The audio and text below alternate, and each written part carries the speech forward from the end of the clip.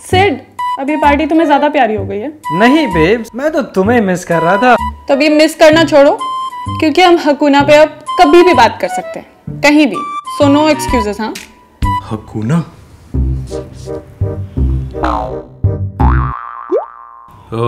Hey guys sorry मुझे कुछ याद आ गया मैं चलता हूँ।